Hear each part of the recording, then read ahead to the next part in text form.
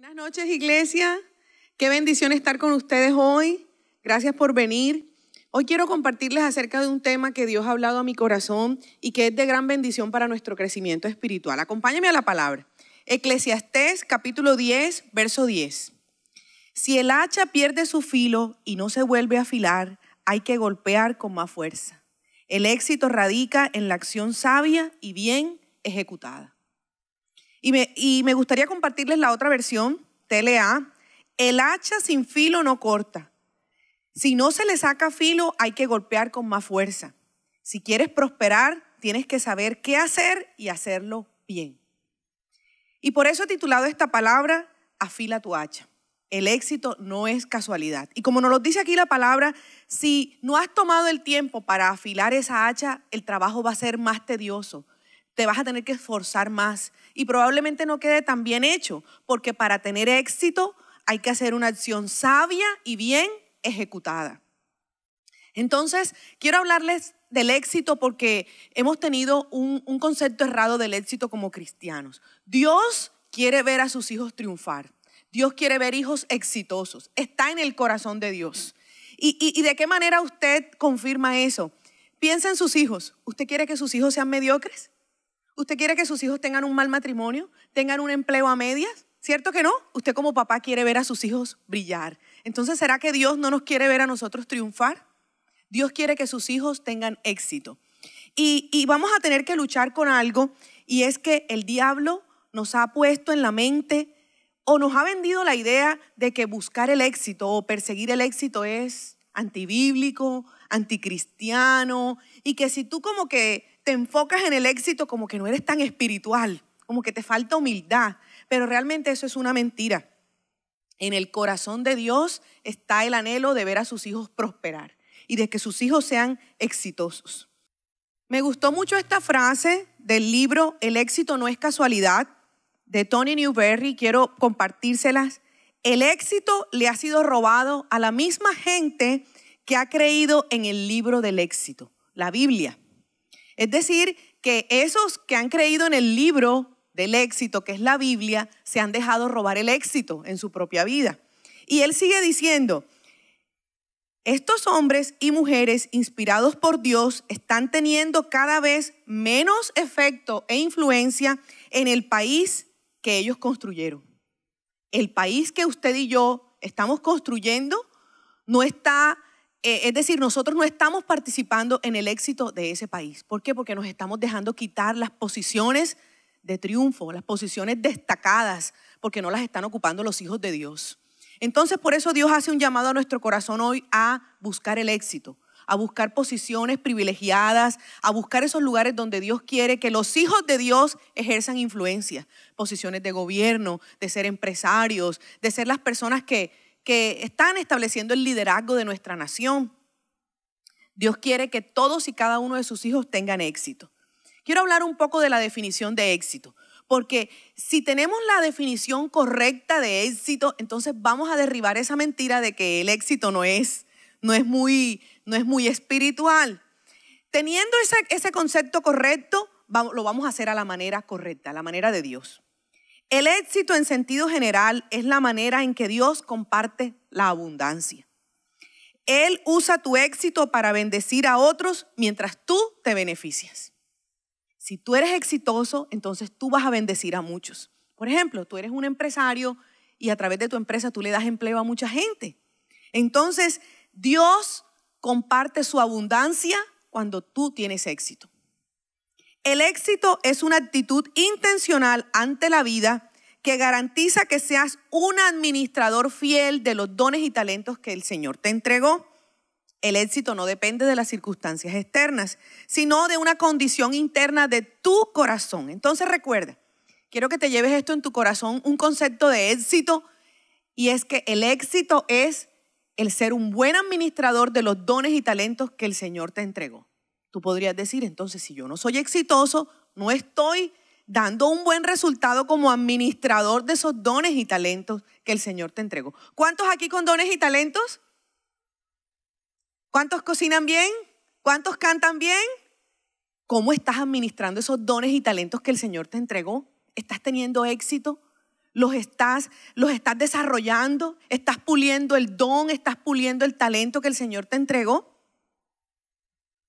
Tener el enfoque correcto del éxito te va a obligar a crecer, a desarrollarte y te va a motivar a abandonar la zona de confort, esa zona de comodidad en donde te sientes muy tranquilo y muy cómodo y no estás haciendo ningún esfuerzo para salir de ella. Entonces recuerde, si tú tienes hoy el enfoque que el éxito es administrar bien los dones y talentos que el Señor te entregó y que adicional un día le vas a tener que rendir cuenta de esos dones y talentos, entonces eso te va a obligar a ti a desarrollarlos. Te va a obligar a estudiar, a capacitarte, a cada día ser mejor en esos dones y talentos. Partiendo de ese fundamento, de que le vamos a rendir cuenta a Dios de esos dones y talentos, eh, tú vas a tener que trabajar en tu carácter, trabajar en esas áreas de tu vida donde no estás viendo progreso y, estimularte a crecer.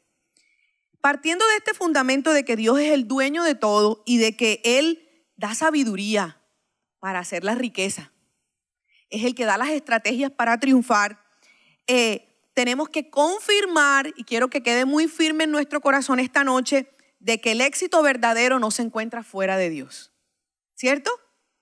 Si Dios es el dueño de todo, si Él es el que quita reyes y pone reyes, si Él es el que da la sabiduría para hacer riqueza, el éxito verdadero no está fuera de Dios.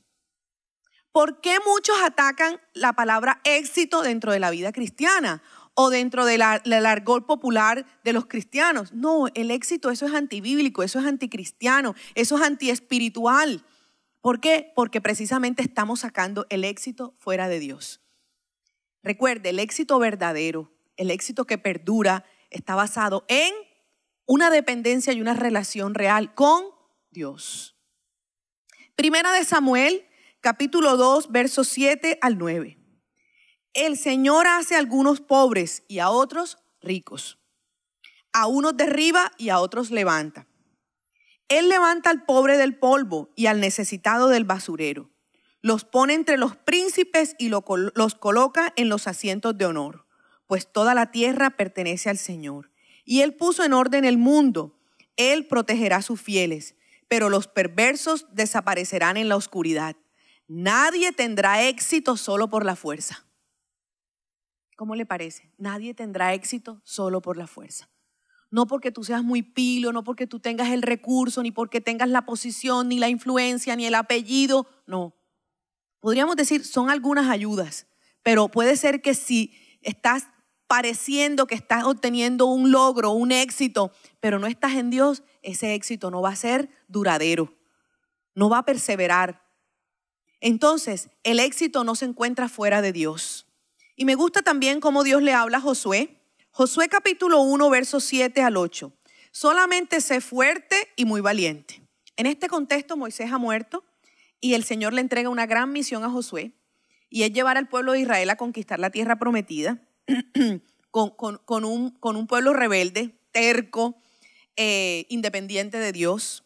Y le dice, cuídate de cumplir toda la ley que Moisés mi siervo te mandó no te desvíes de ella ni a la derecha ni a la izquierda, para que tengas éxito donde quiera que vayas. Este libro de la ley no se apartará de tu boca, sino que meditarás en él de día y de noche, para que cuides de hacer todo lo que en él está escrito, porque entonces harás prosperar tu camino y tendrás éxito. Dios le estaba hablando a Josué y le estaba diciendo, yo te encargo una misión, pero ojo, no te puedes apartar de lo que dice el libro. Tienes que vivir bajo esos preceptos. Y entonces, si tú vives bajo esos preceptos, los aplicas a tu vida, vas a tener éxito. Dios le dijo, yo quiero que tengas éxito. El éxito viene de Dios. Dios quiere ver a sus hijos prosperar. Ahora, ¿cómo lograrlo? ¿Cómo vas a lograr el éxito? Eh, podemos utilizar muchas claves, pero hoy quiero compartirles tres de ellas. La primera, obediencia a las normas y enseñanzas de la Biblia. Como lo estábamos viendo en la cita de Josué, eh, el Señor le está diciendo a Josué, es bajo este libro, bajo los preceptos que están aquí, que tú vas a tener éxito. Entonces, la primera clave para obtener el éxito es obediencia a las normas y a las enseñanzas de la Biblia. Dios anhela que tú te conviertas en cada aspecto de tu vida en la persona que Él diseñó. ¿Y cómo vamos a buscar ese diseño original? A través de la palabra. Recuerda, Dios que nos creó tiene el manual de funcionamiento, ¿cierto? Que está en la Biblia. Dios tiene los planos originales del edificio de tu vida. Y adicional, Él tiene la foto final de la fachada. O sea, al final de la carrera, Él tiene la foto y Él dice, a los 50 años, a los 70 años, a los 90, yo te voy a ver así. Tenemos que ir a Él. Tenemos que ir a la palabra de Dios. Para ello es necesario que tú te comprometas en conocer la palabra de Dios de forma práctica, que la apliques en cada detalle, que la apliques en cada decisión, en cada negocio de tu vida, en cada acción de tu vida. Yo sé que no es fácil de la noche a la mañana tenerle amor a la palabra de Dios, porque es un proceso. Pero si cada vez que vienes a la iglesia tú tomas nota de los principios y te propones esa semana empezar a aplicar lo que aprendiste, cada vez vas a sumar más principios y tu vida va a ir siendo ajustada a la palabra de Dios. Leer la Biblia diariamente. De pronto el primer año entiendes solamente el 1, el 2%, pero el segundo año entiendes más, el tercer año entiendes más y así sucesivamente se va a aclarar más el panorama de lo que Dios quiere. Cómo vivir de acuerdo a la palabra de Dios, cómo hacer ajustes en nuestra vida de acuerdo a lo que Dios nos pide. Recuerda, obediencia a la instrucción de la Biblia. Es decir, que tus decisiones, que tus negocios, que el actuar diario en tu vida esté ajustado al libro de Dios. ¿Cómo lo haría Dios? ¿Cómo dice la palabra que tengo que hacerlo? ¿Cómo actuar? Que luches por obtener una vida de éxito sirviendo a los demás. Dios quiere eso, porque el Señor nos manda a servir en su palabra. Y la Biblia está llena de aquellas personas que fueron más que vencedores. Por eso ninguno de nosotros debería conformarse con ser mediocre. Pero ojo, quiero hacerte una aclaración aquí. Obedecer la palabra de Dios y vivir bajo la instrucción de Dios es apenas el kinder de los cristianos, ¿cierto? Porque si tú superas el, bueno, ya yo sé qué dice la Biblia y ya lo estoy aplicando a mi vida, en la medida en que Dios más te ve obedecer, en la medida en que Dios más te ve santificarte, te está diciendo, este es mi hombre de confianza, esta es mi mujer de confianza, le voy a entregar más. Y cada día Dios te va a poner en otra posición, ya le voy a dar más, le voy a confiar más riqueza, le voy a confiar más progreso, le voy a confiar el ser una persona de más autoridad. Entonces, cuando Dios te ve a ti que ya esta, la palabra de él, las normas, sus instrucciones están en tu corazón, hacen parte de tu estilo de vida, el Señor te va a entregar más, porque Él es el que te hace prosperar. Entonces recuerde, obedecer las normas y enseñanzas de la Biblia es apenas la base, es el kinder. Y en la medida en que tú le entregas más a Dios, Él te va a dar más y te va a confiar más. Recuerda, ninguno de nosotros puede estar satisfecho con ser un mediocre, porque Dios nos diseñó para triunfar. Segundo, ¿cómo vamos a lograr ese éxito? Siembra bien y en abundancia. Concientízate de que el éxito está basado en la ley inmutable de la siembra y la cosecha. Ninguno puede sembrar semillas de manzana y recoger naranjas, porque esa ley funciona. Es como la ley de la gravedad, es inmutable, no cambia. Lo que tú siembras vas a cosechar. Eh, tienes que identificar qué estás sembrando tú. Recuerda, si tú estás sembrando semillas de obediencia, de trabajo duro, de esfuerzo, de honestidad, ¿qué vas a recoger? Una cosecha de honestidad, Dios te va a recompensar por tu esfuerzo. Entonces, no esperes que si tú no estudias en un semestre, que ganes el semestre. No esperes que si tú no estás haciendo tu trabajo bien, te den el ascenso. Y entonces te pongas molesto porque a tu compañero sí le dieron el ascenso y a mí no. Pero ¿no será que el otro compañero es, más esforzado que tú? ¿No será que trabaja más? ¿No será que entrega más? ¿Que le ven más diligencia? Recuerda, lo que tú siembras, eso cosecharás. Gálatas capítulo 6, verso al 7, verso 7 dice, no se dejen engañar, Nadie puede burlarse de la justicia de Dios. Siempre se cosecha lo que se siembra. Y quiero que te centres en la palabra engañar. Como lo leímos, no se dejen engañar. Dios nos está alertando allí y te está diciendo, ojo, no te dejes engañar. Te está diciendo, cuidado, puedes caer en el engaño. ¿De qué? ¿De qué nos está alertando Dios? Él nos está diciendo, aquí hay un riesgo. Y el riesgo es llegar a creer que puedo ser eximido de las consecuencias de mis actos. Todos tus actos, todas tus, decisiones tienen una consecuencia. Entonces Dios te está diciendo, ojo, no te dejes engañar. Lo que tú siembras, lo vas a cosechar. No te creas la mentira de que tú vas a ser eximido de la consecuencia. Si siembras bien, cosecharás bien. ¿Quieres saber lo que sembraste en el pasado? Mira a tu alrededor y ve lo que tú estás cosechando hoy.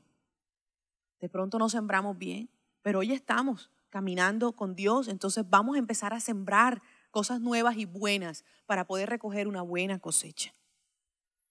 El sello de un cristiano maduro y el sello de un cristiano eh, mental y emocionalmente sano es la responsabilidad total de su vida. Podemos, por ejemplo, hablar con un papá y decirle, mira, pero tu hijito está comportándose de esta manera, lo vemos así. Y un papá que no ha asumido la responsabilidad total de su vida dice, ay, pero a mí me extraña eso porque él en la casa no es así. Tú me estás hablando de otra cosa. No, no, no. Recuerde, el sello de un cristiano maduro es aquel que toma la responsabilidad total de su vida y dice, yo asumo que mis acciones traen una consecuencia. Sí, es que, mire, yo he descuidado al niño.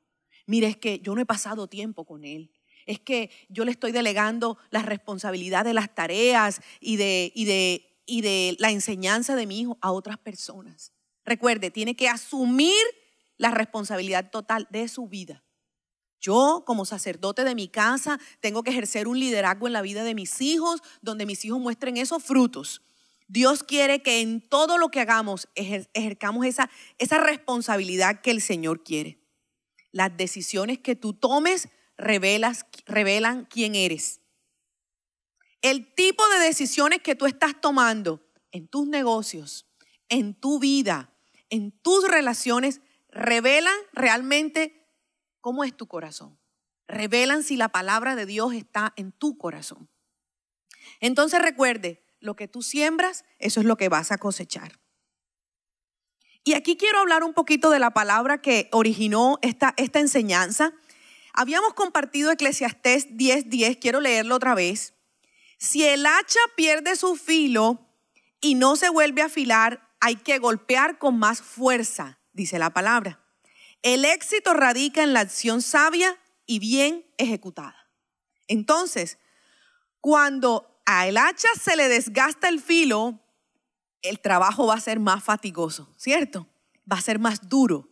No vas a hacer una acción exacta, bien ejecutada. Entonces recuerda, si el hacha no está afilada, no vas a tener éxito. ¿Qué significa el hacha?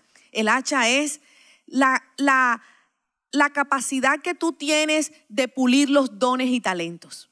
Dios te dio un hacha, que son tus dones y talentos. ¿Sí? Lo que tú haces pero tú tienes que hacerlo tan bien que vas a atinar al blanco para tener éxito. Entonces, tú puedes contratar a una persona sin experiencia para que te haga un trabajo, pero no va a tener probablemente éxito. Pero tú puedes contratar a una persona con experiencia que ya ha dado resultados, que ya lo ha hecho antes, y ese te puede garantizar éxito. Entonces, el tiempo que tú tomes en afilar el hacha te va a ahorrar dinero. ¿cierto? Te va a ahorrar esfuerzos y te va a garantizar el éxito. Entonces, no dudes en invertir tiempo en estudiar, en capacitarte, en entrenarte, en orar. Necesitas aún tomar tiempo para sanarte. Mire, eh, muchos de nosotros a veces no somos testimonios como cristianos en el trabajo que hacemos, lo que sea de recepcionista, de portero, de gerente, de administrador. ¿Por qué? Porque de pronto no estamos sanos emocionalmente. Y, podemos ver situaciones donde dicen, mire, trabaja muy bien, es buen trabajador, pero es muy amargado. no sonríe, pelea con todo el mundo en el trabajo. Entonces, usted y yo tenemos que tomar tiempo para afilar el hacha. Y afilar el hacha incluye cincelar el carácter. Trabajar en esa área de nuestra vida en la que no hay fruto. Tenemos que trabajar en esas áreas de nuestra vida donde probablemente no estamos dando una buena cosecha. Tienes que salir de esa zona de confort, de esa zona de comodidad. Tienes que eliminar las excusas. Y tienes que cincelar tu carácter para que tú puedas realmente recoger una buena cosecha. Eso es lo que el Señor quiere. Recuerda, el tiempo que emplees en afilar el hacha te va a ahorrar esfuerzo y te va a asegurar el éxito. Tercera cosa que tenemos que hacer para lograr el éxito. Orar y escribir las metas. ¿Por qué tienes que orar para escribir metas? Porque el que te va a guiar es Dios. Ojo, cuando nosotros le apuntamos a todo y no nos especializamos en algo, no nos vamos a volver exitosos en nada. Porque tú sabes hacer de todo, pero no eres experto en una cosa. Entonces no le puedes apuntar a todo, no puedes tener metas para todo, no. Concreta de la mano de Dios tus metas. ¿En qué eres bueno? Y colócate metas en esa área de tu vida. Te quiero hacer esta pregunta para que lo medites en un momentico. ¿Tienes éxito en este momento? ¿En qué áreas de tu vida no tienes éxito hoy? Tú puedes decir, tengo éxito como mamá, como papá, tengo éxito en la empresa, pero puedes decir, eh, no tengo éxito en la parte financiera, tengo deudas, no tengo éxito en esta área de mi vida. Identifica en qué área de tu vida no estás teniendo éxito en este momento. Y recuerda que el éxito se planea. Tú vas a escribir esas metas y vas a planear el éxito de la mano de Dios, porque tienes que tener, tener un, un plan sobre el cual vas a vivir, te vas a enfocar, eh, sobre el cual vas a, a, a poner todo el empeño y toda tu fuerza. Vas a ser intencional en las cosas que vas a escoger. Vas a invertir bien el tiempo porque tú te vas a esforzar en ese plan para llegar a cumplir esas metas. Recuerda que Dios, el que te diseñó, conoce la foto final. Entonces tiene que ser de la mano de Él que vas a conseguir cuáles son esas metas que tú te tienes que proponer. Recuerda, ora por esas metas antes de fijarlas. Y tus metas tienen que ser concretas y cuantificables. Ora para que Dios te provea consejeros sabios que te guíen. Porque la palabra de Dios nos dice que el éxito consiste en tener muchos consejeros. Si tú no sabes cómo hacerlo, busca gente experta en esa área, gente que ya ha tenido resultados. No sé, si tú cantas y quieres pulir el don, el talento de cantar, tienes que buscar personas que lo hagan mejor que tú. Tienes que buscarte consejeros en esa área donde tú quieres crecer. Órale a Dios que te provea esos consejeros. Identifica tus dones y talentos, desarrollalos y púlelos. Allí, sé fiel, persevera en hacer pulir esos dones y talentos y trabaja duro y Dios te va a llamar. Te va a hacer un llamado en esa área y el Señor te va a ascender al siguiente nivel. Y evalúa periódicamente el avance de tus metas. Si no estamos evaluando constantemente cómo vamos, nos vamos a perder en ese cumplimiento y no vamos a obtener un resultado. Jueces capítulo 18, verso 5. Y le dijeron, te rogamos que consultes a Dios para que sepamos si vamos a tener éxito en nuestro viaje. Dios responde, te rogamos que consultes para ver si vamos a tener éxito en el viaje. Si Dios dice que no vas a tener éxito en el viaje, ¿por qué te vas a proponer montarte en ese viaje? ¿O no es así? De la mano de Dios Él te va a decir, ese camino sí, ese camino no. Emprende esa carrera, esta no. Emprende esa relación, esta no. Recuerda, es de la mano de Dios que vamos a emprender esos caminos, esas decisiones y vamos a orientarnos en esas metas, en las metas donde Dios nos diga que sí podemos. Proverbios capítulo 11, verso 14. Sin dirección la nación fracasa. El éxito depende de los muchos consejeros. ¿Quién te está aconsejando hoy? ¿Tienes consejeros? ¿A quién les consultas tus planes? ¿Quién te apoya a orar por esas metas? Recuerda, no puedes estar solo, necesitas consejeros. Y recuerda, busca personas de fe, personas que, que hayan caminado con Dios y que tengan hoy cosecha de su vida. Y finalmente quiero dejarte con este testimonio porque me llamó mucho la atención y está basado en el concepto de éxito que, que tú debes tener para saber cómo vas a enfocar tu vida. Un jugador de las grandes ligas de béisbol americano, Orel Heisecher, en una entrevista dijo, cuando haya terminado mi carrera en el béisbol profesional, mi meta más exitosa no será llegar al Salón de la Fama, sino ver el éxito de mi familia como resultado de mi influencia en su vida.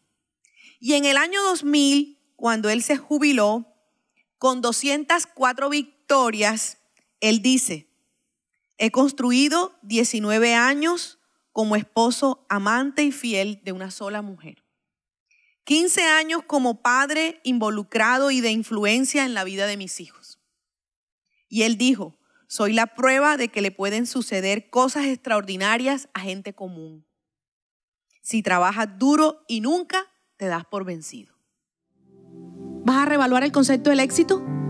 Dios quiere que seas exitoso, pero recuerda, afila el hacha, capacítate, estudia, prepárate. No seas mediocre en lo que hagas, esfuérzate, deja a un lado la pereza, elimina las excusas y pídele al Espíritu Santo que te dé el denuedo para siempre hacer más de lo que se te pide, para que trabajes con excelencia y para que Dios te ponga en esas posiciones donde te va a ascender y va a hacer que tu influencia crezca para que muchos quieran conocer a Dios. Entonces le invito a ponerse en pie, vamos a orar le vamos a pedir a Dios hoy, de acuerdo a cada, a cada uno de estos tres puntos que hemos estudiado, que Él nos ayude. Padre, esta noche reconocemos que no hemos vivido, Señor, con esa conciencia de éxito que tú quieres que tengamos. Y Padre, hoy reconozco que por mucho tiempo creí que el éxito yo no lo podía lograr. Y aún que si era cristiano tenía que vivir de bajo perfil. Pero hoy yo creo, Señor, que el éxito es para mí. No importa mi condición de hoy, la situación en la que yo esté hoy, Señor. Y le pido que ahí en oración usted le diga cuál es su condición de hoy. Endeudado, quebrado, enfermo, repitiendo semestre, me sacaron de la universidad, con problemas, mi esposa me dejó, no tengo familia. Dígale a Dios el área de su vida en la que usted no tiene éxito. Pero aquí estoy, Señor creyendo que tú vas a hacer de mí una nueva persona. Y creyendo, Señor, que si yo empiezo a aplicar esos principios de obediencia a tu palabra, mi vida va a cambiar. Yo te necesito, Señor. Hoy declaro lo que dice la palabra, que no creo haberlo alcanzado todo ya, sino que prosigo a la meta. Cámbiame, Señor y hazme obediente a tu palabra. Señor, yo clamo a esta hora que yo realmente tenga un compromiso con tu palabra. Y si usted hoy está aquí y todavía no lee la Biblia por cualquier razón, dígale, Señor, yo quiero. Ponme hambre y sed por tu palabra, Señor. Por favor, Dios. Espíritu Santo, levántame temprano. Espíritu Santo, inquiétame para que yo madrugue a buscarte, Señor. Inquiétame, Dios, para que yo empiece a leer tu palabra y crea que ese es el libro, Señor, donde está la bendición. Y si tú has venido esta noche es porque quieres que Dios haga algo en tu corazón. Dile, Señor, yo te necesito. Te necesito más de lo que hasta ahora te conozco, de lo que hasta ahora he visto, Padre. Y tengo en mi corazón, Señor, que cada día yo pueda parecerme más a ti. Para que tú veas que yo soy el hombre y la mujer de confianza, Dios y tú me entregues más, Señor. Gracias por estar aquí esta noche, Padre. Gracias por enseñarme, por capacitarme, Dios. Señor, hazme un experto en afilar el hacha, en estudiar, en prepararme. Señor, en, desarrollar y pulir los dones y talentos que tú me entregaste. En eso que soy bueno, Señor, ayúdame a prepararme para ser el mejor. Ayúdame, Dios. Y Señor, clamo a esta hora por las semillas que yo no sembré bien, Señor. Te pido perdón por cada semilla equivocada, errada. Señor, por cada injusticia, por cada deshonra. Señor, por cada acto de injusticia donde yo mentí, donde yo robé, donde yo hice un mal negocio. Te pido perdón, Señor. Te pido perdón porque no busqué ayuda, porque caí en el engaño. Y hoy estoy recibiendo una cosecha, Señor, de acuerdo a lo que sembré. Te pido perdón, Señor. Y hoy proclamo que tu sangre preciosa lava y limpia mi vida, Señor. Y yo recibo tu perdón. Y yo también me perdono. Heme aquí, Señor. Lava la tierra de mi vida. Lava mi corazón, lava mi mente, Señor. Y te clamo que siempre es Dios en mí principios de honestidad, de rectitud, Padre, de cumplir mi palabra, de decir siempre la verdad, de tener temor tuyo, Dios. Y yo empiece a sembrar en abundancia actos de justicia, Señor.